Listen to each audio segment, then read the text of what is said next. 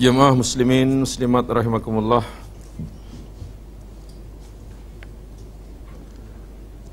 Kita akan teruskan siri pengajian hadis kita.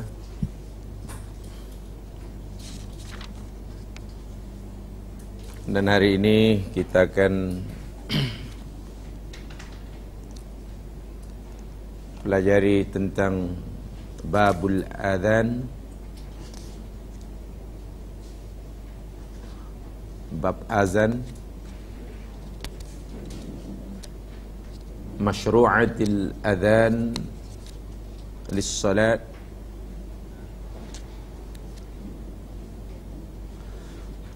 Bab tentang disyariatkannya azan.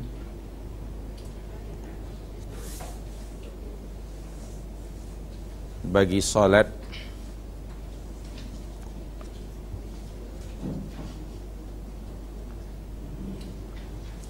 Hadis yang ke-190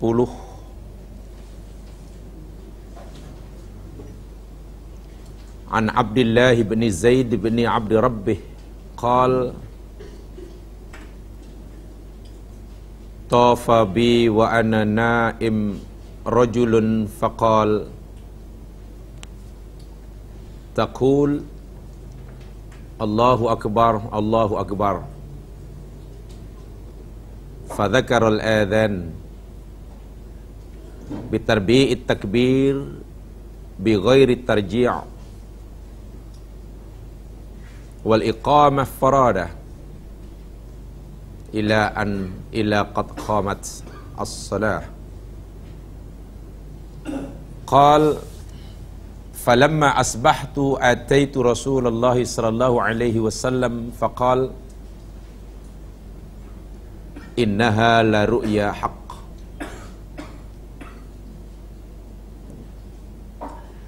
Al hadis akhrajahu Ahmad wa Abu Daud wa sahhahahu Tirmizi wa Ibn Majah wa zada Ahmad fi akhir qissah qauli Bilal fi adhan al-fajr As-salatu khairum minan naum walibni Khuzaimah an Anas qal minas sunnah idza qala al muadzin fil fajr hayya Allah falah qal as-salatu khairum minan naum.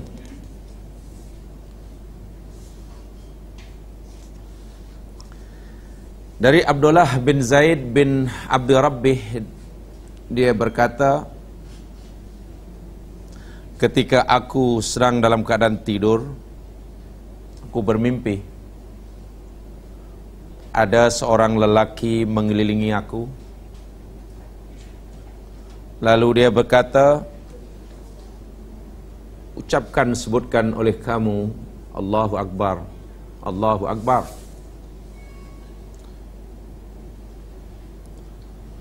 Lalu beliau yakni Abdullah bin Zaid menyebutnya sebagai azan. Dengan mengulanginya empat kali. Tarbi' daripada perkataan arba'ah tarbi' takbir. Allah Akbar Allah Akbar Allah Akbar Allah Akbar. Tanpa terji jadi dengan suara yang rendah dan juga tinggi wal iqamah furadah. Dan ucapkan secara sekali tunggal. Qad qamat as-salah. Berkatalah dia Abdullah bin Zaid ketika berpagi-pagi aku segera menemui Nabi sallallahu alaihi wasallam lalu baginda bersabda sesungguhnya ia adalah mimpi yang benar sesungguhnya dia adalah mimpi yang benar.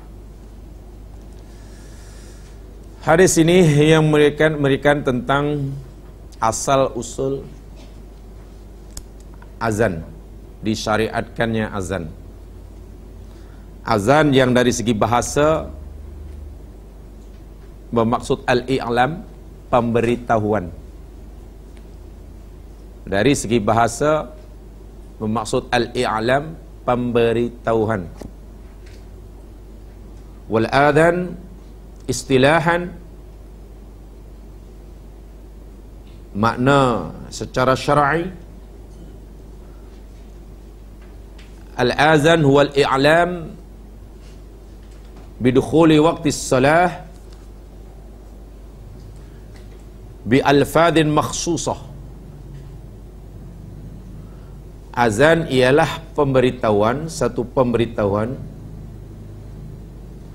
akan masuknya waktu solat dengan lafaz-lafaz yang tertentu. Dengan lafaz-lafaz yang tertentu.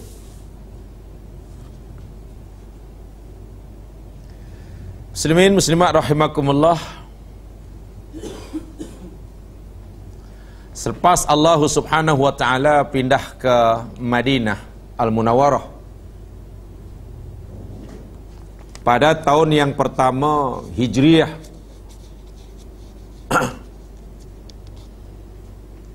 dan baginda Nabi hendak melaksanakan sembahyang fardu. Khasnya secara berjamaah walaupun sedia maklum bahawa sembahyang fardu lima kali sehari semalam difardukan oleh Allah Subhanahu wa taala ketika baginda Nabi masih berada di Makkah lagi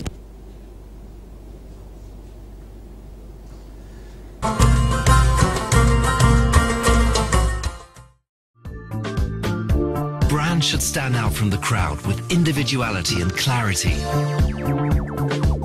They should be in dialogue with their surroundings, in print, and in mobile media. Brands should communicate holistically in order to leave an authentic impression on their target group and to inspire the world around them with responsibility and commitment.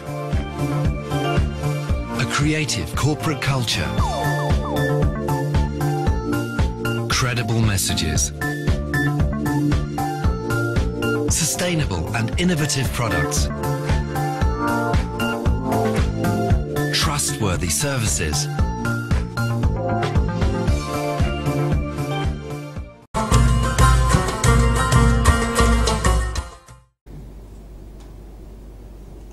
mereka berbincang bagaimana nak bagi tahu orang Madinah, orang Islam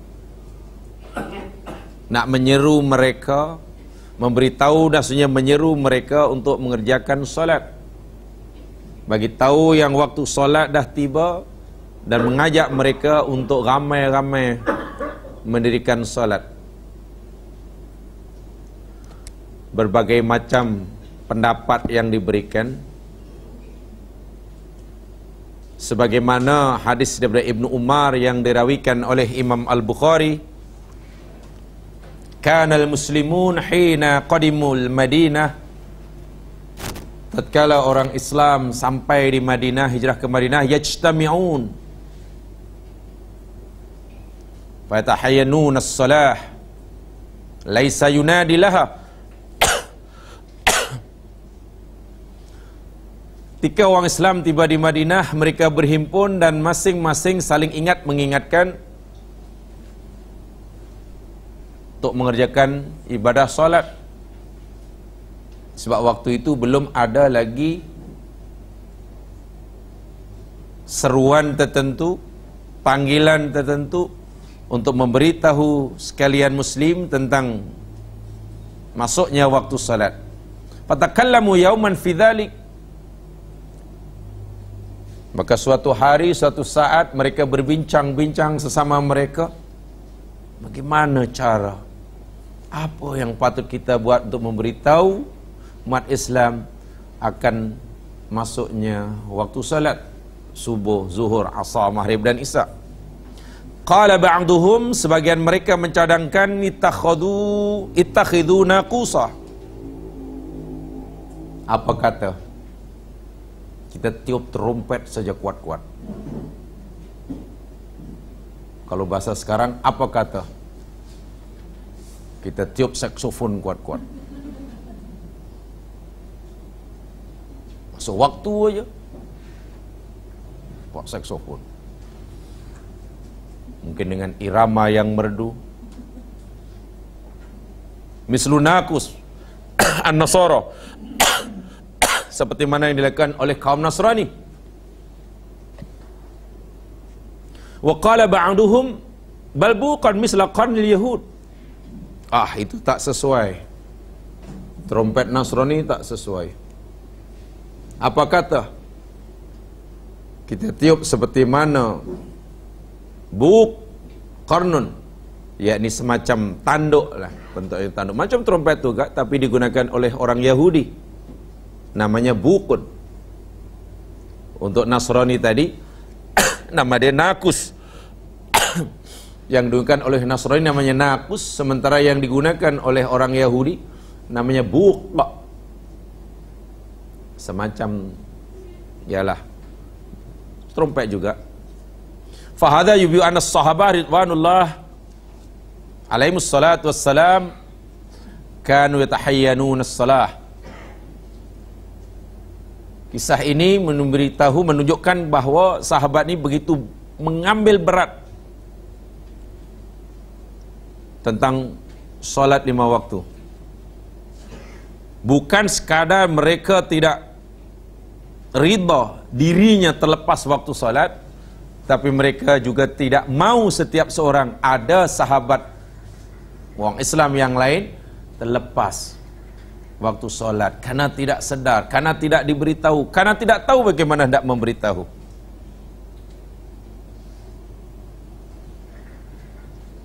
Panjang hadisnya seperti mana Qadhi Iyad telah menceritakan. Semuanya ditolak. Maka pada suatu hari ada seorang sahabat yang bernama Abdullah bin Zaid dalam hadis ini. Masa tidur ia bermimpi didatangi oleh seorang lelaki dan mengajarkan lafaz-lafaz azan. Seperti mana yang kita kenal sekarang. Pagi-pagi kata si Abdullah bin Zaid bin Abdi Rabbi. Beliau segera menemui Nabi dan menceritakan apa yang dia mimpikan malam hari Rasul sallallahu alaihi wasallam meresponnya ini adalah mimpi yang benar. Ini mimpi yang benar. Karena dibaca daripada awal Allahu Akbar Allahu Akbar dan seterusnya, seterusnya. Lalu Nabi bersabda kepada Abdullah bin Zaid Al-Kih ala Bilal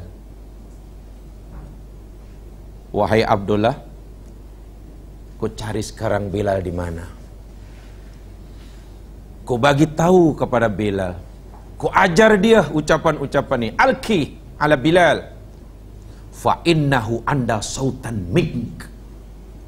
Alasan Nabi menyuruh si Abdullah untuk mengajarkan apa yang dimimpikan karena Nabi kata itu mimpi yang benar karena Bilal anda sautan minka suara dia lebih merdu. Ini kelayakan pertama rupanya. Muazin suaranya merdu lantang merdu. Sedap dengar. Orang dengar pun wah ya sedap. Jadi jangan azan tu macam tak ada apa ini tak ikut sunnah. Azan macam Allahu Akbar. Allahu Akbar. Allahu Akbar. Allahu Akbar. La ilaha illallah. La ilaha illallah. Hayya salat. Hayya. Oh, jangan. Nabi pun pilih Bilal. Jangan adan menyentak-nyentak nanti orang lari. Allahu Akbar, Allahu Akbar. Hayya Allah salah. Hayya Allah salah. Jangan ada adab, ada sunnah dia.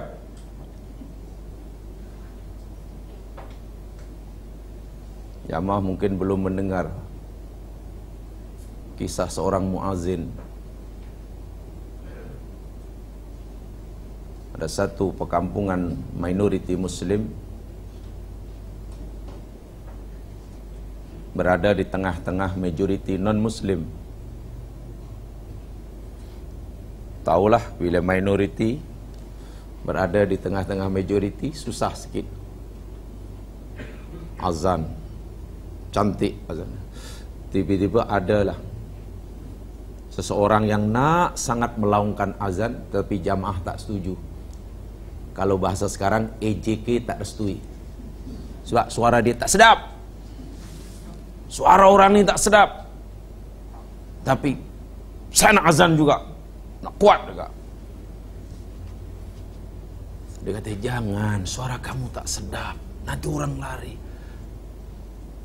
Dia dilarang ini, salah faham pula.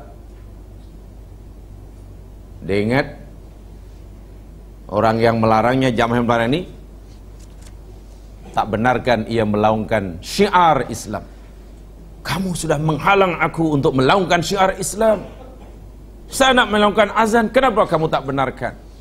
Tak dibenarkan kata AJK ini suara kamu tak sedap.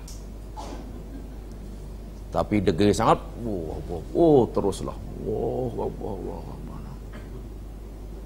Ingat ya, dia satu perkampungan minoriti Muslim di tengah dengan majoriti non Muslim, orang Kristian. Tak jauh daripada musala itu seorang padri Kristian kirim yang ramai orang Kristian. Anak dia, putri dia, anak perempuan dia dah lama sekali ingin memeluk agama Islam. Lama sungguh memang jatuh cintalah dengan Islam.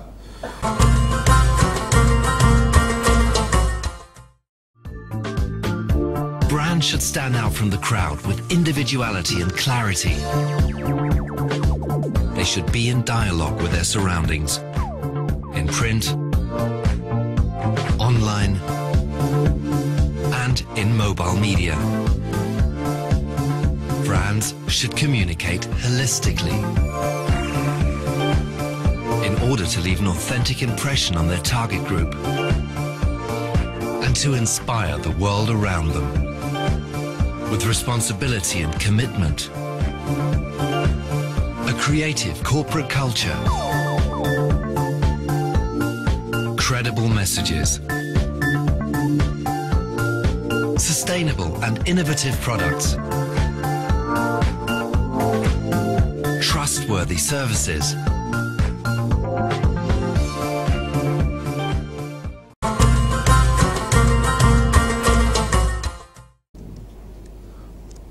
Anak dia, putri dia, anak perempuan dia dah lama sekali ingin memeluk agama Islam. Lama sungguh memang jatuh cintalah dengan Islam. Tapi bapaknya tak restui, maklum padri merasa malu ya ini tercabar harga dirinya bila anak sendiri meninggalkan agama yang dia yakini benar memeluk agama Islam malu. Jangan nak, jangan nak, jangan nak. Tapi macam-macam ikhtiar dilakukan oleh keluarganya. Si anak perempuannya ni kuat juga nak beragama Islam.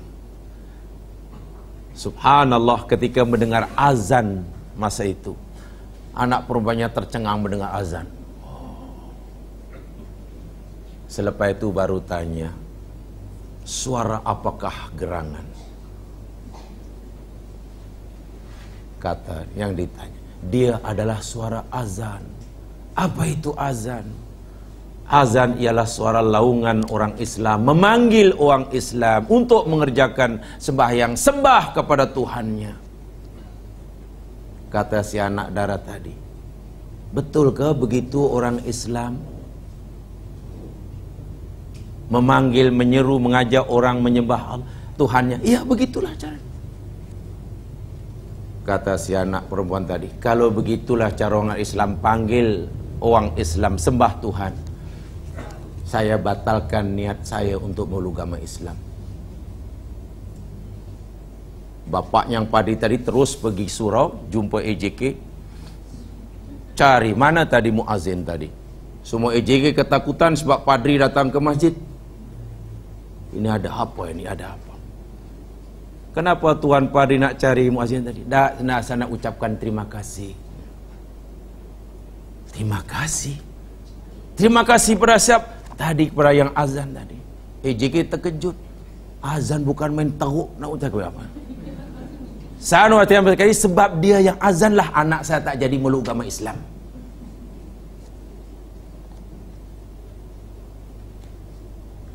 The moral of the story dia ialah azan itu baik. Islam itu cantik. Tapi bila Islam diterjemahkan, diamalkan, dengan cara yang tidak cantik sehingga kecantikan Islam tertutup dengan cara pelaksanaannya orang bukan Islam lari bukan main terima kasih pada tadi sebab muazin pasal engkau azanlah anakku tak jadi meluk agama Islam. Tengok azan punya pasal orang tak jadi meluk agama Islam. Nabi terus suruh si Abdullah cari Bilal ajarkan apa yang kamu mimpi itu kepada Bilal. Dia anda sautan minka karena dia mempunyai suara yang lebih lantang lebih merdu lebih sedap didengar so kena pilih itu dah lagu ya siapa yang mungkin ada tersadat azan kena yes yang sedap jangan membentak-bentak azan Allahu akbar Allahu akbar Hayya salah. Hayya salah. Hayya falah. Jangan, jangan, jangan. Bukan, bukan, bukan, bukan begitu. Kalau setakat itu saya yakin Nabi tak akan suruh Abdullah bin Zaid untuk mengajar apa yang kepada Bilal. Dipilih tu. Tapi jangan juga terlalu panjang. Sehingga tah Ustazah tajwid pun tak tahu itu bacaan apa. Jangan sampai membingungkan ulama tajwid azannya panjang sangat. Ini mat lazim muthaqal kalimi ke mat arid sukun ke apa? Bukan main panjang. Ya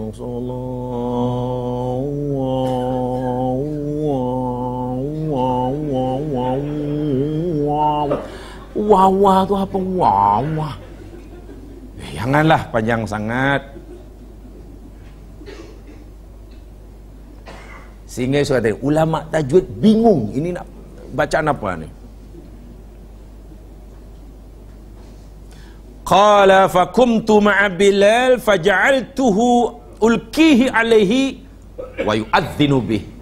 Apa pun kata Abdullah segeralah cari Bilal jumpa aku ajar dia apa yang aku mimpikan dan Bilal pun yu'adzinu bih. Qala fasami'a dhalika Umar bin Al-Khattab rupa-rupanya apa yang dimimpikan oleh Abdullah bin Zaid yang diberitahukan kepada Nabi kemudian Nabi suruh untuk mengajarnya pada Bilal. Peristiwa ini didengar oleh Umar bin Khattab. Sampai kepada sepengetahuan Umar bin Khattab radhiyallahu an. Wa huwa fi baitihi. Ketika Bilal melaungkan azan kali pertama Umar dah suara apa ini macam aku pernah mendengarnya. Fa kharaja yajurru ridaahu. Apalagi Umar pun terus tinggalkan rumah dia pergi ke masjid. Sebab inilah kali pertama Umar dengar ya jurru ridaah jarai juru tu mana sambil menyingsingkan apa jubah dia. Pasal nak laju nak lari laju kena di ah macam tu. Pakaian dia diangkat laju.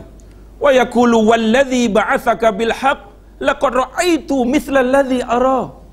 Jumpa Rasulullah terus Umar bersumpah demi Allah wahai Rasulullah demi zat yang yang demi zat yang jiwaku berada pada genggaman tangannya aku mimpi sebagaimana apa namanya ah, laqad raaitu misla alladhi aku mimpi sebagaimana yang dia mimpi. Itulah yang aku mimpi orang tadi. Suara itulah yang aku aku dapatkan dalam mimpi aku. Faqala Rasulullah SAW Lalu pun Nabi kata Falillahilham Kalau itu segala puji bagi Allah. Hadis sahih riwayat Ahmad Umar rupanya pun mimpi. Hanya saja Umar lambat bagi tahu Nabi. Sudah atau didahului oleh Abdullah bin Zaid. Umar memang sering kali jamaah sekalian apa yang dia fikir, kadang apa pendapat dia bersesuaian dengan wahyu yang belum pun turun. Nah, itu kisah sendiri. Umar sering kali dalam masa hidupnya punya pendapat, punya gagasan, punya idea, punya cadangan yang bersesuaian dengan wahyu yang wahyu pada masa itu belum pun turun. Itu kecembalangan Umar. Pendapat dia sesuai sama dengan wahyu yang belum pun turun. Kan hebat tu. Kita wahyu dah lama turun pun karena tak sama dengan yang. Mana kita bukan Umar lah. Quran dah lama depan pun pendapatnya lain daripada yang ni. Fahaman kita pun pelik-pelik. Itu dalam kisah lain. Ada apa namanya? Uh, pendapat Umar yang bersesuaian dengan dengan dengan wahyu ini. Dengan wahyu ini. Satu dia azan, satu dia hijab, satu dia makom Ibrahim, satu dia tentang tawanan perang. Itu semua tu. Termasuk makom Ibrahim kita solat di makom Ibrahim. Umar cadangkan ya Rasulullah alangkah elok ya kita sembahyang di Kaabah ni sebab yalah di Kaabah ni mana-mana boleh sembahyang sini boleh situ boleh situ boleh. Tapi kan elok ya kalau kita jadikanlah ni makom Ibrahim ni sebagai tempat sembahyang. Jadi tok imam duduk situ lah dekat itu. Yang lain boleh makmum dia bilang. Itu cadangan Umar